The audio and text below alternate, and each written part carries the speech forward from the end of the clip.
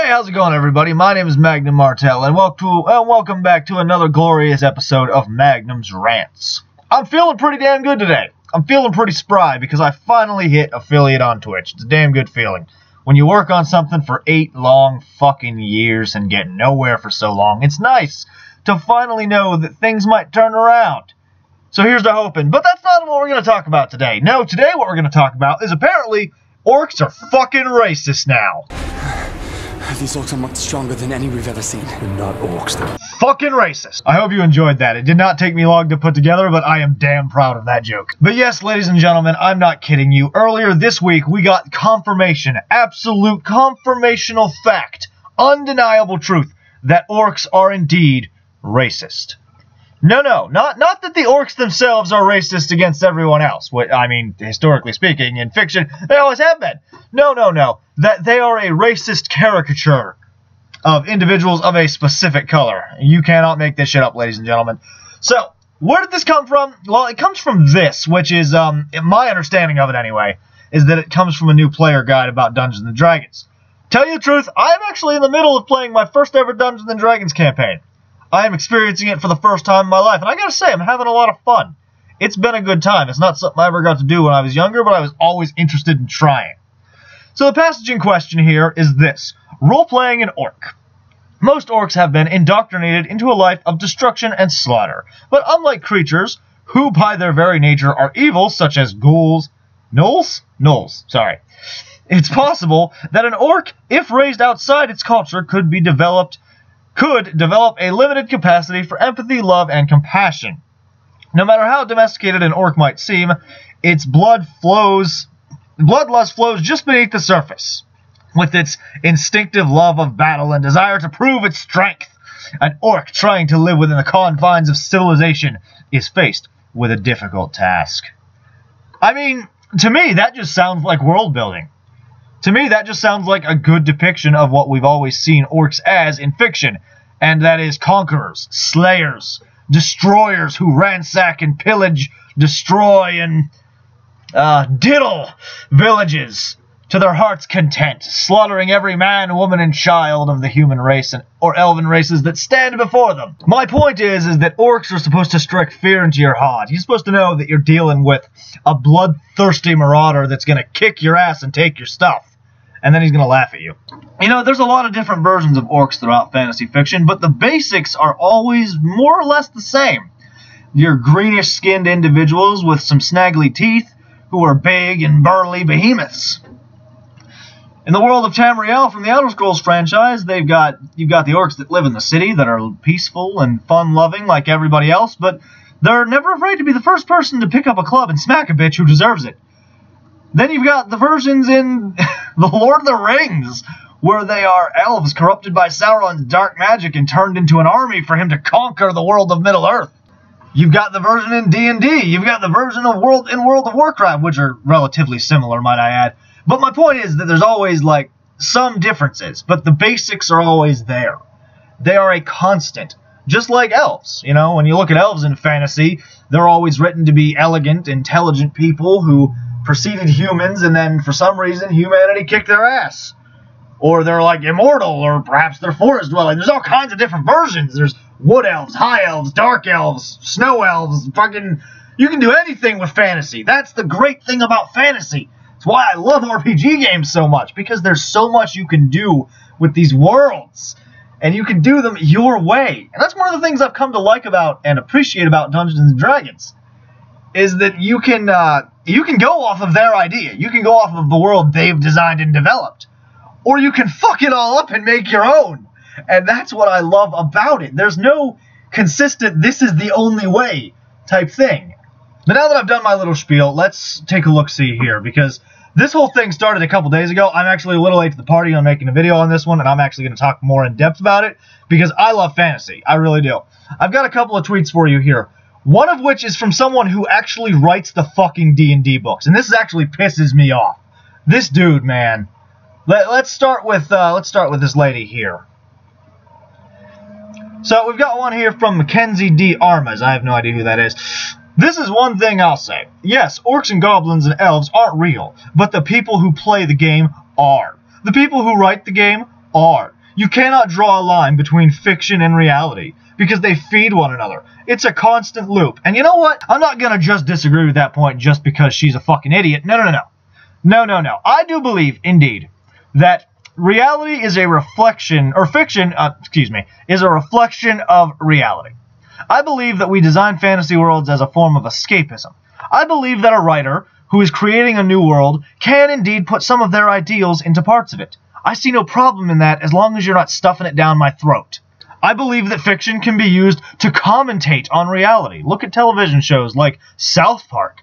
They use fiction of their own world to commentate and make fun of our own reality all the time.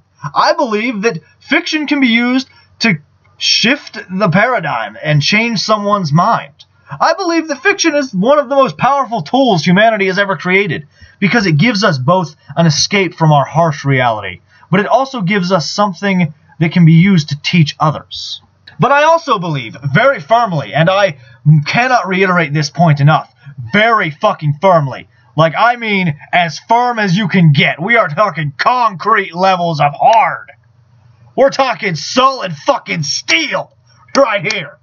That there's nothing wrong with inserting your ideals into a fictional world that you have created. However, I do not like it when you demand your ideals jammed into a fiction that you have nothing to do with. I do not like it when you jam your ideals into a fiction so hard that you are stuffing them so far down my throat your hand is coming out my ass. I don't care if you express your ideals in your own fictional world that you have created. In fact, I believe that's what fiction can be used for and done properly. But I will not have you telling me how I fucking think in the real world is dependent entirely on fucking fiction. I will not have you telling me that just because you believe something about fiction, then it's automatically true for everyone else. It continues here. As game designers, we're responsible for entrusting that ugly, harmful realities like racial stereotyping do not make it into the fiction. And I strongly disagree.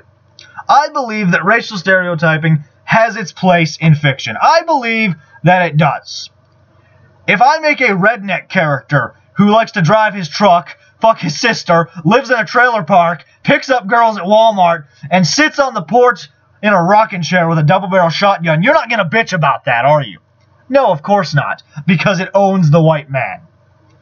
But if I make a black man character who is a hood rat ghetto gangster wannabe that dies in the first chapter, you're going to flip your lid. Because if they do, and the players see it and use it to justify themselves, the game only reinforces the pain real life racism shows. Okay, I believe in Morgan Freeman's idea of dealing with racism. How are we going to get rid of racism until... Stop talking about it. That is an old clip. It took me a good little bit to actually find it. But anyway, I agree with Morgan Freeman.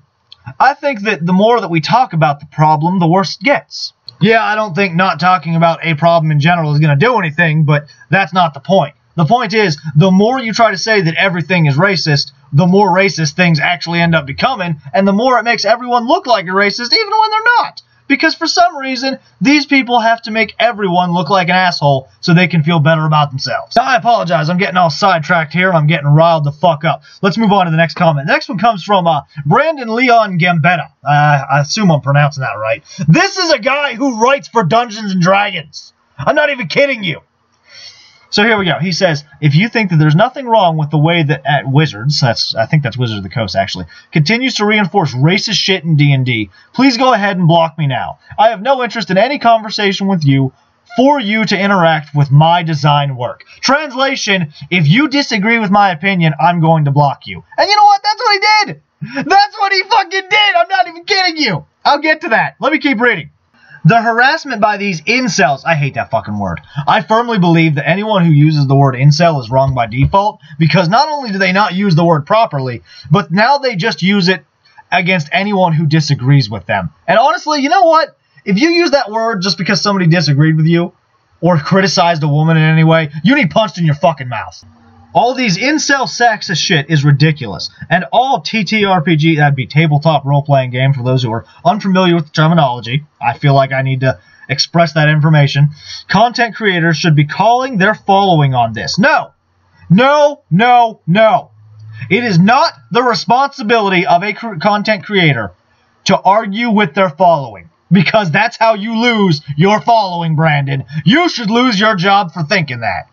That's my opinion.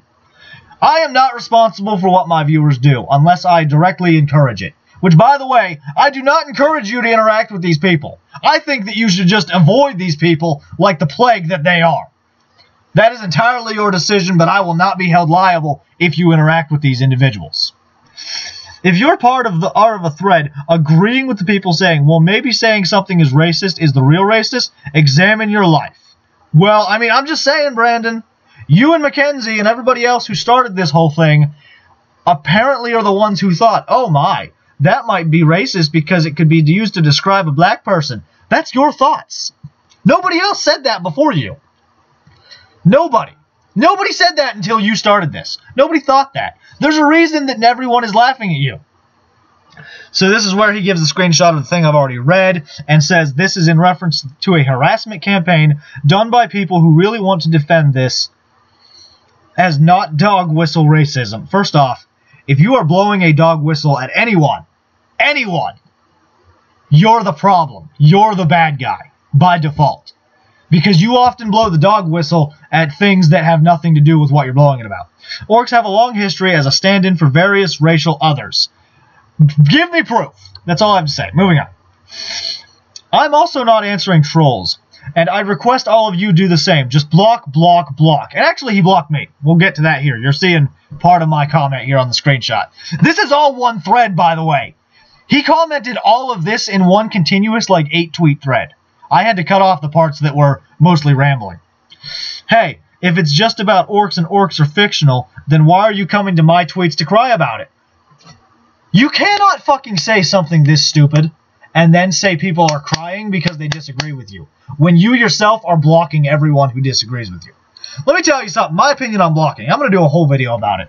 But to give you the Cliffs Notes, I believe that if someone is legitimately just being an asshole to you, and they're going around following you place to place, interacting with you repeatedly, you have every right to block them just because they're being a dick. I have no problem with that. If somebody directly insults you by calling you something that you're not okay with, you have every right to block them. If they're breaking the terms of service, you have every right to block and report them. I have no problem with that. I've had to block a couple people. I don't like to do it. I like to use it as a last resort when I can't handle somebody being an asshole anymore and I'm tired of arguing with them or I'm tired of them trying to make me look look bad. I have no problem with it then. But if you're just going to block them just because they disagreed with you, you're an asshole. You're an asshole and you're trying to live in an echo chamber. I'm not okay with that. Anyway, legit, these people think they are ruining my day while literally responding with what what I called out in the first place. So a translation, you called out racism, so to speak, and they're responding by being racist. Disagreeing with you does not make them a racist, Brandon. Just saying. I'm realizing that most of these people are probably dummy accounts, so I may just mute, but damn, at Wizards, check out the responses if you think you're doing enough. I truly hate this line of thinking. I really do. I truly hate it because it's always these people who do it. It's always these people like Brandon that think that everything is sexist, everything is racist, everything is homophobic, that want the company that makes the thing that they are, quote, calling out to do something about its fan base. You would have to be the dumbest human being on the face of the earth to be in charge of this company and go, oh, we need to ban all these people because they disagreed with the opinion, the asinine opinion of one of our employees. That is how you lose money. They do not want to lose money. Money is their goal, Brandon. Money is more important to them than you are. I'm going to tell you that right now. Personally, I think you should lose your job just because you believe that it's their responsibility. You, as a creator, are not responsible for what your fan base does. You, as a creator, do not have the fucking authority to remove or ban your fan base for what they do on other platforms that are not associated with you in any way or for the opinions that they hold. I don't care what your terms of service says. I don't care what the legality is. You do not have the fucking right just because you disagree with their opinion. Now, if they go out of their way to do harmful things on your platform, harass people, which, by the way, your communities have a very bad habit of that, Wizards. They really do. I have a story from when I was about 14 being harassed by Magic the Gathering players. Not the point. Neither here nor there. It's called growing up and moving on. It's actually just a memory at this point that I might do on a story time. Not the point. You do not have the right as a company, and Brandon, you need to understand they do not do not have the right as a company to ban anyone just because they disagreed with your asinine little fucking soy boy opinion. You're an asshole, Brandon. It's why you people like you shouldn't be in charge because you impose that position of power on everyone else. And I hate it when people do that. I truly hate people like you because you're a bunch of cunts. You ruin everything for everybody else. And then when they get mad, you say, go make your own. And that's where my comment comes in. D&D is not racist. Please stop trying to force all media to conform to your ideals and delicate sensibilities. Stop pushing out the people who enjoy it. Go make your own. Just know that every time you, that like every time you do, it will flop. Every time these people go and make their own, it flops. Every time they come in and ruin something the rest of us love, it flops. Every time they tell us to go make our own. But when they do, when we do, they come and invade it. They come and try to take it away from us again. Wizards, I'm going to tell you right now. You should not be doing a damn thing. Do not change the way orcs are described. Do not listen to this little fucking soy boy. Do not start banning your players for disagreeing with him. Because that will be digging you a hole. And eventually, someone's going to kick you in. And then they're going to fill it. I'm going to tell you that right now. As a company, you do not have the right to dictate the thinking or opinion of your fan base. That goes for YouTube, that goes for Twitch, that goes for Wizards, fucking Konami, fucking Microsoft, everybody. You as a company are supposed to make a fucking product and keep your bullshit to yourself. Let us consume the product. Listen to the people that buy the product and care about the product. Not the people like this guy who don't give a shit about it, who are trying to ruin it. Listen to the people who give you money for your product. Make your product, take their feedback, and shut up. You do not have any right to tell other people what to think. And now that I've had my little rant, and it's actually inspired a full video I'm going to do later, we get to my comment. My response to Brandon. Brandon did not read this response. He simply read the first sentence and decided, oh, time to block him. D&D is not racist. Because every time, like I said, these people ruin something we care about. They tell us to go make our own. Then they come and invade it. But then every time we we tell them to go make their own, they go, no, I want to be a part of this. Because they want to ruin it. And I actually included here this nice little picture here. I love this image. Thank you to the Hitman subreddit for the person who posted this screenshot a year ago, because this is the fav my favorite meme I've ever made. I've ever made. It is calm, respectful, and just perfect. I see your point of view, but I strongly disagree. 47 disagrees, and so do I. So there you have it, ladies and gentlemen. Apparently, orcs are now fucking racist because some little cuck-ass Silicon Valley soy boy who blocks everyone that disagrees with his asinine opinion said so. Because some lesbian feminist with a haircut that makes her look like a cunt said so. Wizards in the Coast, do not listen to these people. Do not continue to employ these people. Do not let them change the world that you wrote back in the fucking 80s just because they have a stick up their ass now. Do not conform and bend the knee. Because if you do, you'll lose money. And if you do, it'll be your own damn fault. Thanks for watching, everybody. Please leave a like if you enjoyed. Subscribe for more comment. More, more comment, yeah. Fucking, I'm so riled up I can't even talk straight. For more content, and I will see you next time. Please don't forget to check out my Twitch channel, where I often sit, where I often stream late at night on the Eastern Standard Time, playing games with my friends.